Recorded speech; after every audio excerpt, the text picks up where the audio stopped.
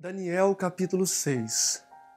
A história de Daniel sendo lançado no fosso dos leões compreende muitas lições de suma importância para o povo de Deus no tempo do fim, nesses dias em que vivemos. Aquela é uma história profética, uma história que indica o que vai acontecer nos últimos dias. E nesta oportunidade, nós estaremos fazendo uma análise justamente deste capítulo, Daniel 6. O meu nome é Silverino Kiel, sou o fundador do IAG.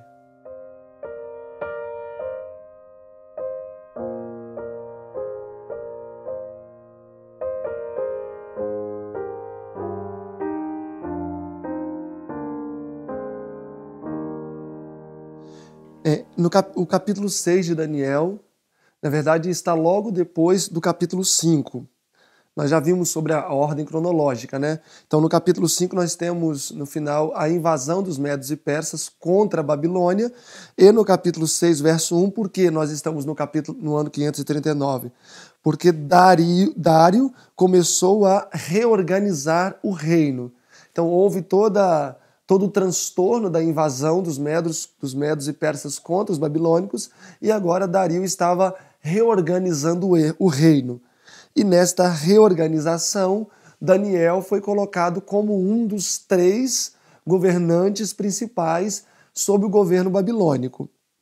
Ok? E o verso 1 diz assim: Pareceu bem a Dário constituir sobre o reino 120 príncipes, que estivessem sobre todo o reino, e sobre eles três presidentes, dos quais Daniel era um, aos quais estes príncipes dessem conta para que o reino para que o rei não sofresse dano. Verso 3. Então o mesmo Daniel sobrepujou a estes presidentes e príncipes, porque nele havia um espírito excelente, e o rei pensava em constituí-lo sobre todo o reino. Então aqui o texto já mostra algo interessante. Daniel já tinha mais de 80 anos de idade. E ele tinha um espírito excelente e mesmo sendo tão avançado em idade, o rei pensava em colocá-lo como um dos principais governantes do reino Medo e Persa, que na verdade era um reino mundial, que esteve em vigência desde 539 a 331, quando foram conquistados pelos, pelos gregos, pela Grécia. E o verso 4 diz assim: então os presidentes e os príncipes procuraram achar ocasião contra Daniel a respeito do reino, mas não podiam achar ocasião ou culpa alguma, porque ele era fiel e não se achava nele nenhum erro nem culpa. Houve inveja dos demais líderes do reino Medo e Persa, houve inveja contra Daniel. E o texto é claro em dizer que em Daniel não se encontrava culpa ou, ou erro algum. Ou seja, ele era um homem irrepreensível. Daniel é um símbolo daqueles que vão viver nos últimos dias. E na verdade, o capítulo 6, quando nós, como vamos ver daqui a pouco, é um símbolo do decreto dominical. E Daniel representa a, a qualidade de caráter que vai subsistir nos últimos dias, quando esse decreto for estabelecido. Quais características? Não se podia achar culpa, fiel e não se achava nele erro algum. Ou seja, um homem irrepreensível.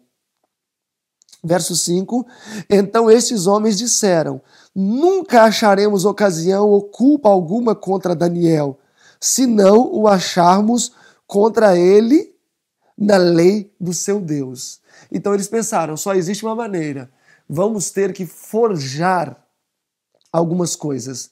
Vamos ter que forjar alguma coisa contra ele. Por quê? Porque ele é irrepreensível. Até gostaria também de mencionar, que vocês não reparem que eu estou um pouco cansado, a gente está com bastante viagem, bastante trabalho, e é pela fé que a gente está gravando mas que seja para honra e glória de Deus, mas não reparem no meu cansaço. Versículo 6. Então estes presidentes e príncipes foram juntos ao rei e pediram-lhe assim: Ó rei, vive para sempre. todos os presidentes do reino, e eram três. Aqui já temos uma mentira, porque todos não estavam envolvidos. Daniel era um dos três. Os capitães, os príncipes, conselheiros e governadores concordaram em promulgar um edito real e confirmar a proibição ou o decreto que qualquer que, por espaço de 30 dias, fazer uma petição a qualquer Deus ou a qualquer homem, a não ser a ti, ó rei, seja lançado na cova dos leões. Agora, um detalhe importante já que, que precisa ser salientado é que nós temos aqui uma divisão do religioso com o civil. Esses governantes aqui, presidentes, príncipes, embora sejam pessoas que comportam um poder cívico, eles têm uma ação totalmente religiosa. E a ação do símbolo determina a sua essência. Por exemplo, no capítulo 7 nós vamos ver que existem dez chifres. E a Bíblia claramente diz que esses dez chifres são dez reis. Daniel 7, 24. Ok? Então, chifre em profecia é um reino, o rei. Porém, o chifre pequeno não é um reino ou um rei, é um poder eclesiástico.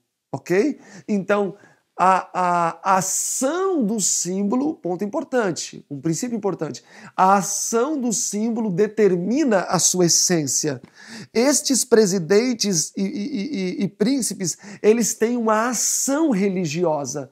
E uma vez que eles têm uma ação religiosa, logo qual seria a essência que eles assumem dentro desta colocação profética? De um poder religioso Logo, quem seria o poder político?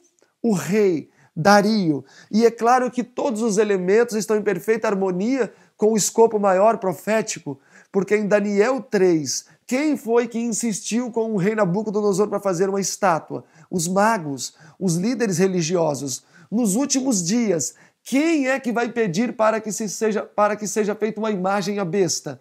A irmã White fala que seria o protestantismo apostatado, ou seja, o poder religioso vai até o poder civil e pede para que o poder civil dê fôlego ou vida à imagem da besta.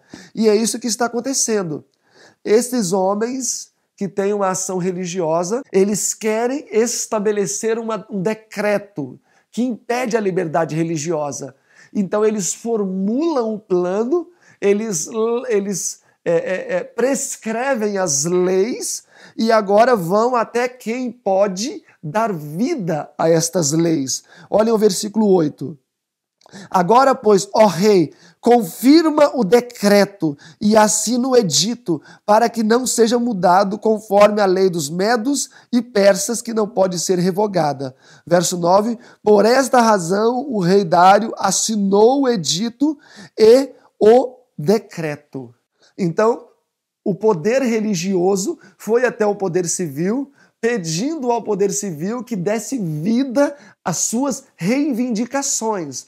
Mas o interessante é notar que, na verdade, o poder do Estado foi estabelecido também por Deus. Quando nós olhamos, por exemplo, Romanos 13, fica bem claro que as potestades civis foi Deus que instituiu.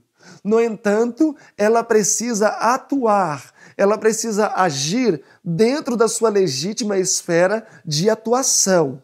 Por exemplo, os, primeiro, os primeiros quatro mandamentos que diz respeito a Deus, não, terá, não terás o nome de Deus em vão, imagens de escultura, sábado, etc., são mandamentos em que o Estado não pode interferir porque tem a ver com o homem e Deus. Porém, os outros seis mandamentos, embora tenham uma ligação direta espiritual, mas o Estado pode interferir. Como assim? A minha liberdade religiosa não pode interferir na liberdade do outro. Por exemplo, eu acredito que é necessário, na prática da minha religião, sacrificar crianças. Notem bem, a prática da religião deve ser livre para todos, mas a minha liberdade religiosa não pode ferir a terceiros. Então, se a minha liberdade religiosa ou a prática da minha liberdade religiosa interfere ou de alguma maneira atinge o meu próximo, o Estado não só pode interferir, como tem o dever de interferir.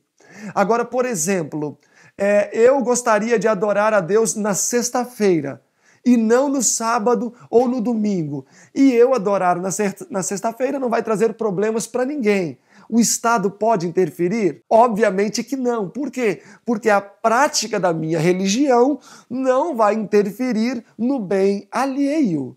Mas e se eu acredito que eu devo adorar sábado à noite na rua e coloco um, e ligo uma caixa de som com um volume altíssimo atrapalhando todos dormirem?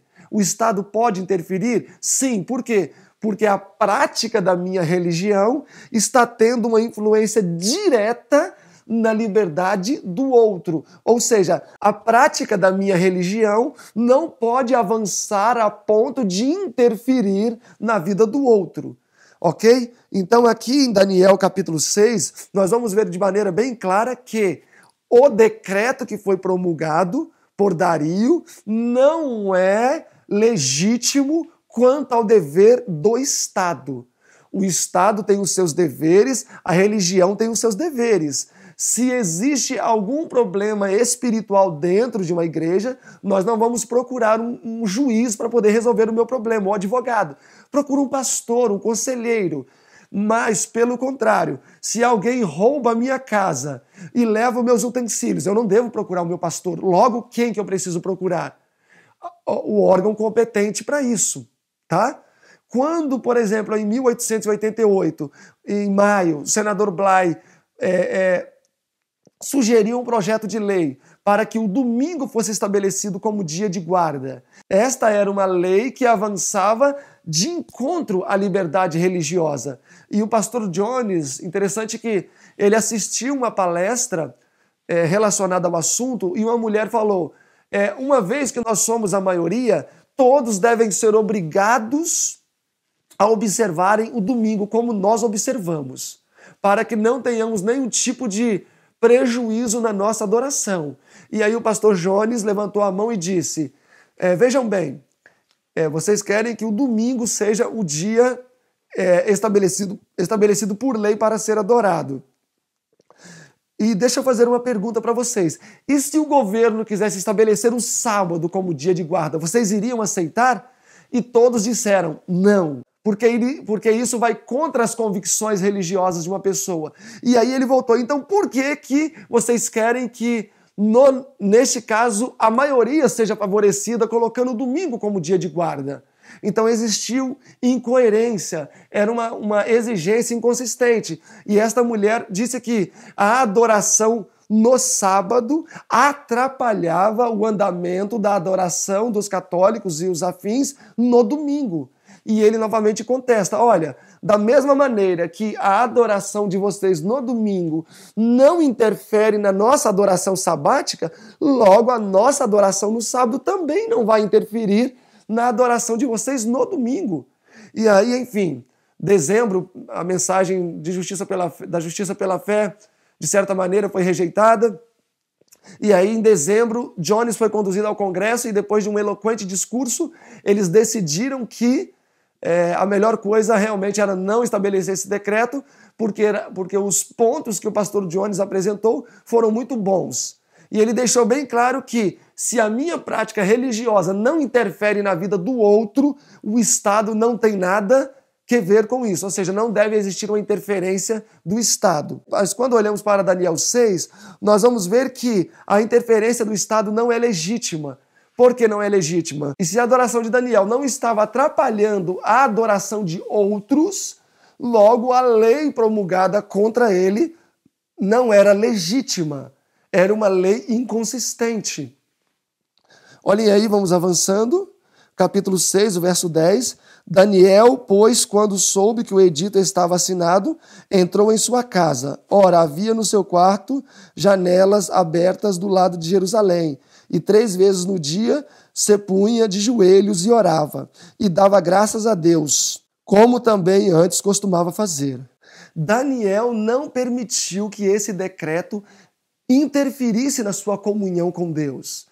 Agora, é um ponto que nós precisamos salientar. Existem momentos que o mais sábio a se fazer é se, sub, é se submeter ao Estado. Se isso não houver, se isso não redundar em quebrantamentos de princípios. Mas existem momentos que nós precisamos nos posicionar. E aqui nós vemos um caso desses, assim como em Daniel 3, diante da estátua de ouro. Daniel sentiu que era necessário se posicionar diante deste decreto e assim ele o fez. Assim como nos últimos dias será necessário que nos coloquemos de pé para que façamos frente a esse decreto que será estabelecido, o decreto dominical. Ele não fez isso aqui para afrontar, ele não fez isso aqui para implicar. Nós não podemos ter esse espírito de ficar espezinhando as pessoas, de ficar é, é, buscando a perseguição. Tem muitas pessoas que buscam a perseguição. Por exemplo, tem pessoas que gravam vídeos na internet, né? tem até um personagem que fez muito isso, ele agride as pessoas verbalmente, chama as pessoas de covardes, chama as pessoas de joio. Isto se chama procurar perseguição, buscar, cavilar a perseguição. Esta não é a atitude do verdadeiro servo de Cristo. Onde nas Escrituras nós vemos Jesus perseguindo e atacando as pessoas? Ele se preocupava em apresentar a verdade, se posicionava. Foi o que Daniel fez. Ele se posicionou como um nobre filho de Deus, um súdito do reino de Deus. Versículo 11. Então aqueles homens foram juntos e acharam a Daniel orando e suplicando diante do seu Deus. Bom, o decreto não intimidou Daniel, mas o que vale salientar é que ele não começou a ter esta qualidade de devoção neste momento. Na verdade, na verdade, esse é o resultado de uma vida de oração. Muitas pessoas esperam o decreto dominical para que tenham então uh, o tão esperado reavivamento da sua fé, para que então passem a orar mais, a estudar mais, ou seja, serão mais firmes. Mas isto é uma utopia. Se, se uma pessoa não busca a Deus com todas as suas forças em momentos de paz, o que a leva a pensar que ela vai fazê-lo em momentos de crise? Se eu não dedico partes do meu dia para orar ao Senhor, o que me leva a crer que eu vou fazê-lo quando existirem decretos de morte contra tais práticas? É uma utopia. Versículo 12: Então se apresentaram ao rei e, a respeito do decreto real, disseram-lhe: Dário, porventura não assinastes o edito pelo qual todo homem que fizesse uma petição a qualquer Deus ou a qualquer homem por espaço de trinta dias, e não a ti, ó rei, fosse lançado na cova dos leões? Respondeu o rei, dizendo: esta, é a, esta palavra é certa, conforme a lei dos medos e dos persas, que não pode ser revogada. O rei inocente não sabia o que tinha acontecido, na verdade, ele foi enganado. Então responderam ao rei, dizendo-lhe: Daniel, que é um dos filhos dos cativos de Judá, não tem feito caso de ti, ó rei, nem do edito que assinaste. Antes, três vezes por dia faço oração. Ouvindo então o rei estas palavras, ficou muito penalizado. Na verdade, agora ele entendeu muito bem que, na verdade, ele caiu numa armadilha. E a favor de Daniel, propôs dentro do seu coração, ou decidiu dentro do seu coração, livrá-lo, e até o pôr do sol trabalhou para salvar Daniel. Versículo 15: Então aqueles homens foram juntos ao rei e disseram-lhe: Sabe, rei, que é lei dos medos e persas que nenhum edito ou decreto que o rei estabeleça se pode mudar. O que é que este poder religioso está fazendo com o poder civil? Está pressionando, colocando contra a parede. No verso 14, vemos que Dario queria salvar Daniel, desejava salvar Daniel, mas as pessoas perceberam, ou seja, o poder religioso percebeu a intenção do Estado de favorecer aquele cristão. E aí eles pressionaram Dario. Eles colocaram Dario contra a parede. E não é justamente isso que acontecia na Idade Média? Vocês se lembram quando aquele rei precisou ficar três dias de pé descalço diante do Papa? Em, em sinônimo de submissão para alcançar o perdão do Papa?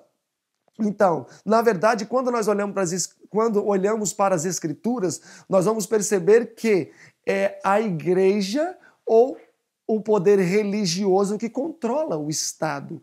Apocalipse 17 apresenta uma mulher assentada sobre a besta, remontando a ideia de um cavalgar. Geralmente, quem domina o cavalo? É ele que se domina ou é o cavaleiro?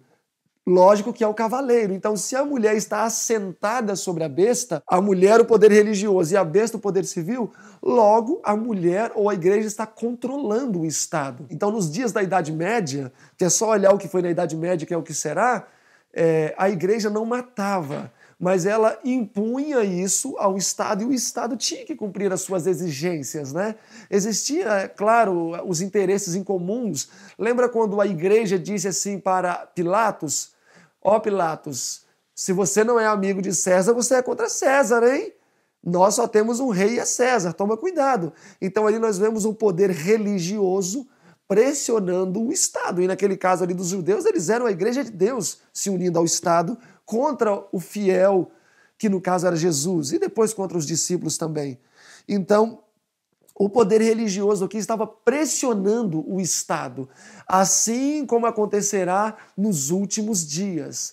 Quando o decreto dominical for estabelecido, meus amados, na verdade não é o, o poder civil que vai vir nos buscar. Nós seremos acusados pelo poder religioso ao poder civil, e uma vez que a religião católica vai ser a religião do Estado, isso vai ser a imagem da besta, o decreto dominical, né? enfim, a Igreja Católica vai estar encabeçando tudo isso. O quebrantamento de uma das doutrinas é, da denominação implicará em um crime civil. Por exemplo, nos países teocráticos, onde se tem é, uma religião definida como religião do Estado, os países muçulmanos, por exemplo, quando existe o quebrantamento de uma doutrina da religião, o quebrantamento desta doutrina implica em quebrantamento de uma lei do Estado. Então, o Estado tem poder para aplicar é, leis. A pessoa vai sentir o pesado braço do Estado. E era isso que estava acontecendo. O Estado balanceou aqui, tentando salvar Daniel, e veio o poder religioso e pressionou o Estado. Versículo 16: Então o rei ordenou que trouxessem a Daniel e lançaram-no na cova dos leões. E falando o rei, disse a Daniel: O teu Deus, a quem tu continuamente serves, ele te livrará. Verso 17: E foi trazida uma pedra e posta sobre a boca da cova. E o rei selou com o seu anel dos, com o seu anel e o anel dos seus senhores, para que não se mudasse a sentença acerca de Daniel. Esse anel selando a pedra é um símbolo da sentença pronunciada contra os santos nos últimos dias. Então, se você deseja saber tudo o que vai acontecer no final, o decreto dominical, as implicações, etc., é só olhar para Daniel 6, pois aqui nós temos em figura tudo o que há de acontecer e qual deve ser a nossa postura também. Versículo 18. Então o rei se dirigiu para o seu palácio e passou a noite em jejum, e não deixou trazer à sua presença música, e fugiu dele o sono.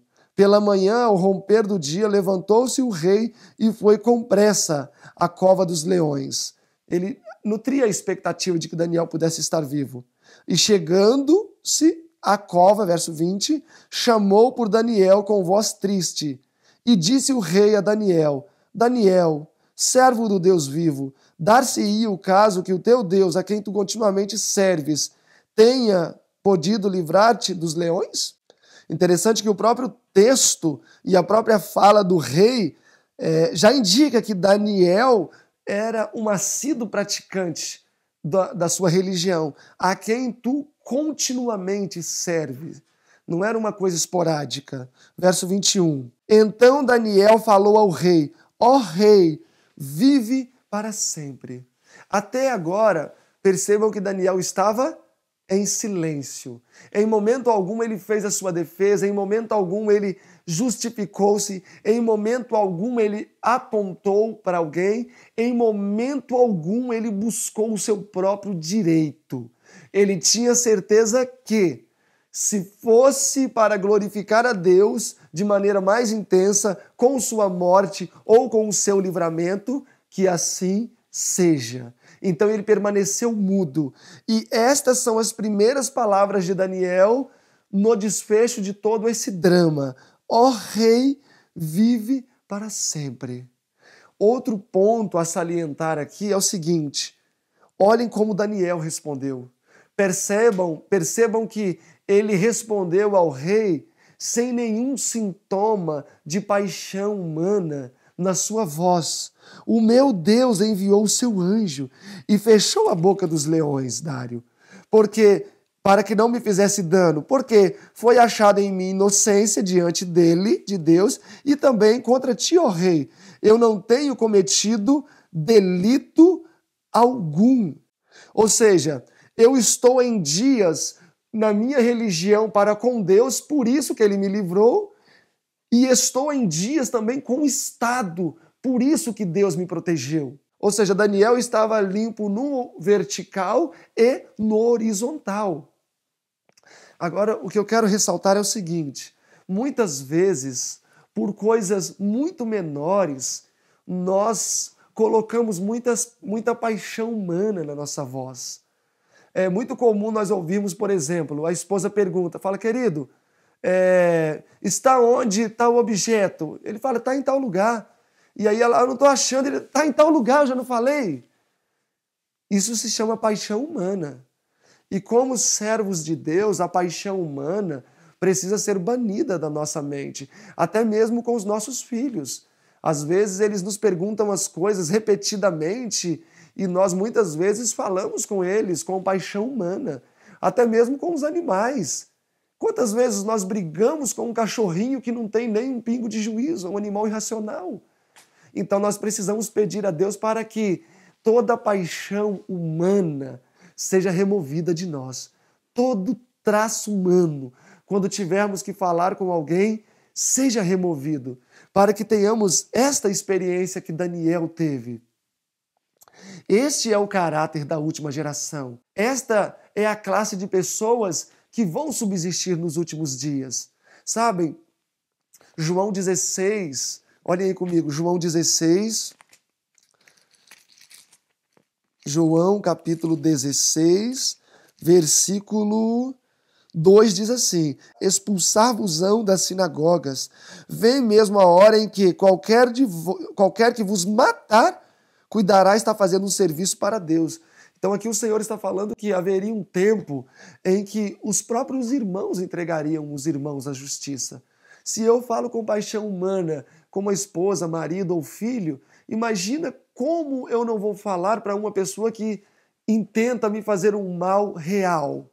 A irmã White, na coleção Spalder Again, inclusive é uma coleção que nós estamos traduzindo nesse momento, um livro, seria, será um livro bem grosso, na página 1 diz assim: Os santos dos últimos dias serão um povo desconhecido dos católicos. Por isso, os nossos irmãos adventistas nominais vão nos entregar aos católicos para sermos mortos, acusando-nos.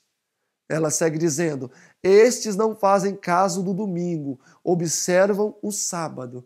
Cumprimento de João 16, verso 2 já se cumpriu com os discípulos e vai acontecer novamente. Então, neste momento, eu preciso estar destituído da paixão humana. Se hoje, quando eu preciso admoestar alguém, e a gente vê tantas pessoas fazendo isso na internet, né, muitos vídeos, e as pessoas às vezes nem estão comprometidas com o trabalho que estão defendendo, mas estão cheias de paixão humana, querendo expressar a sua opinião e buscando confusão. Este não é o caráter da última geração. O caráter da última geração vai ser aqueles que estão acostumados a sofrer o dano, pois eles vão esperar que Deus possa reivindicar a sua causa. Versículo 23: Então o rei muito se alegrou em si mesmo e mandou tirar a Daniel da cova. Assim foi tirado Daniel da cova e nenhum dano se achou nele, porque crera no seu Deus. Então, por que Daniel foi protegido nesse momento difícil? Porque ele creu em Deus.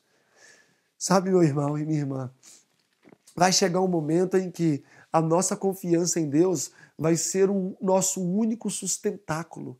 A palavra de Deus diz que nós perderemos os santos, na verdade, né? Eu não vou me incluir porque eu não sei se eu estou entre eles.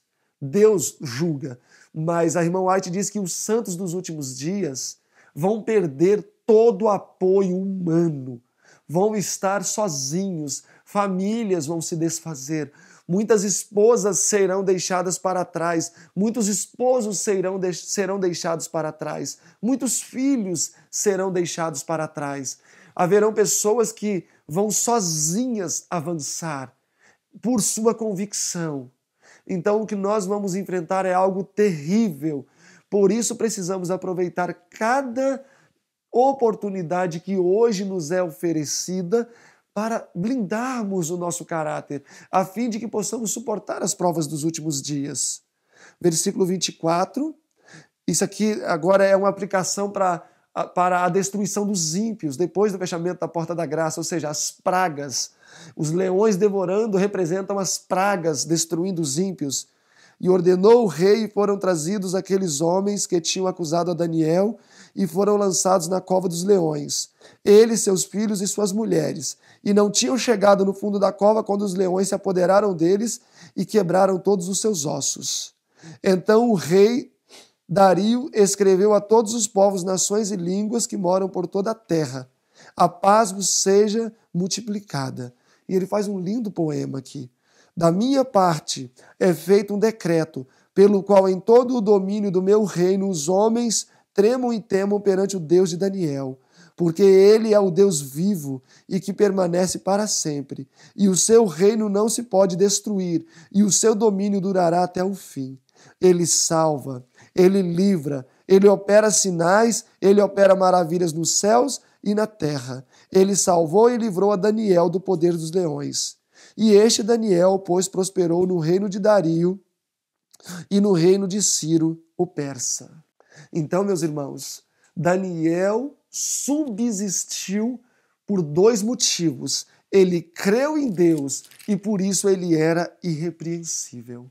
Sabe, por mais que pareça ser assim muito enfadonho ou sempre seguir uma mesma linha de falar sobre a vitória sobre o pecado. Mas este é um tema que permeia toda a escritura.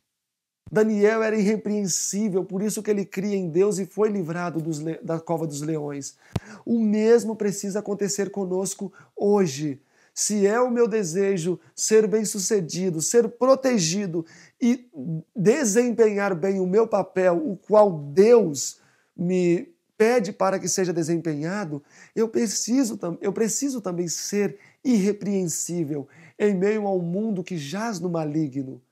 Apocalipse 13 fala sobre a união dos protestantes apostatados. Ali diz que haverá uma grande conflagração de toda a cristandade ou seja, vai ser todo o mundo contra uma pequena classe de fiéis. Satanás vai tentar esmagar esta pequena classe de fiéis. E estes poucos fiéis, assim como Daniel e seus três amigos em Babilônia, vão ter que fazer frente a uma grande quantidade de pessoas que estão em trevas. Então nós precisamos, desde hoje, buscar cumprir todos os critérios que Deus tem indicado a nosso respeito para que tenhamos essa força e possamos ser como Daniel, ser livrados em momento oportuno. Então, que venhamos a ter discernimento para entender que o que está diante de nós é nada mais, nada menos que um fosso de leões famintos na expectativa de nos destruir. Que roguemos a Deus por forças para desempenhar o papel que ele nos comissionou nesses últimos dias. E assim venhamos a ter a mesma experiência que Daniel, sermos protegidos no período das pragas e assim reivindicarmos o nome de Deus.